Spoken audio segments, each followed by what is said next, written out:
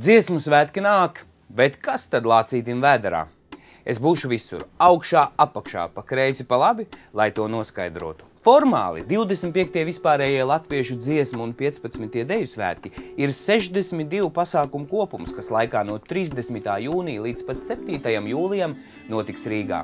Vēl cērā savu blociņu un aizkrāso visu nedēļu. Ko darīt, tev patiešām būs. Aptauju centrs, aptaujājot 738 cilvēkus, noskaidroja desmit populārākos pasākumus gandrīz nemainīgajā dziesmu svētku programmā.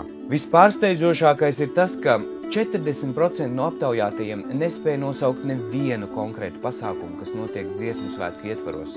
Savukārt tie 60%, kuri dziesmu svētkos orientējās kā savā ķešā, Tie min gandrīz visus nozīmīgākos pasākumus, kas notiek dziesmu svētku laikā. Sarindojot pētījumu rezultātus topā, desmitais populārākais pasākums ir amatu meistaru gada tirgus, kas notiks no 4. līdz 7. jūlijam šeit, Vērmanis dārzā. Droši vien arī uz estrādes kāds kaut ko tirgos. 6. jūlijā 5. pēcpusdienā Doma laukumā notiks pūtēju orķestru diškoncerts, un Mundī Merī meitenes noteikti zina, kurā vietā mūsu topā ir šis koncerts. Protams, 9. Topa 8. vietā aptaujātie ierindojuši iespēju pašiem būt klāt procesā. Tātad 8. vietā mēģinājumu, kurus iespējams apskatīties un noskatīties bez maksas. Tātad mūsu topa 7. vietā ir dziesmu un deju svētku atklāšanas pasākums. Hari, vai tu zini, kad un kur tas notiks? Jā, tas notiekās 30. jūnijā, pulkstens puls 10. vakarā, dziesmu svētku parkā. Vai tu zini, kas 30. jūnijas ir par dienu? To es gan jums nepateikšu priekš tamam vai kalendāru. Kā sauc mazo lācīti? Helēna. Helēna, ja? Cikos Helēna parasti iet gulēt? No 11. vakarā, jā. Tas mums der, jo mūsu topa sastajā vietā ir kāds pasākums, kurš dziesmu svētkos sāksies 7. jūlijā, tātad noslēguma dienā, un sāksies 11. vakarā. Un vai jūs zināt, kas tas varētu būt par pasākumu?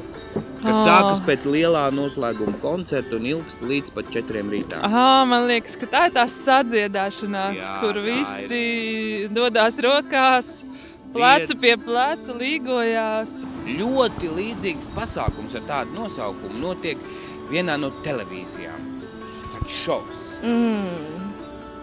Kora kari? Jā, koru kāri notiks arī dziesmu svētku programmā, tātad 5. vietā. Topa 4. vietā ir ierindojušies dziesmu un deju svētki kopumā. Tātad sajūta, kas valda pilsētā, laikā no 30. jūnija līdz 7. jūlijam.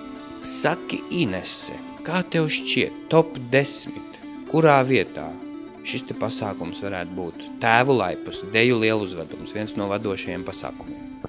Es domāju, ka viņš varētu būt pirmajās vietās. Bet kurā? Nu, kādā otrā vai trešā? Otrā nē? Vēl zemāk? Nu, tad par otro zemāk kas ir?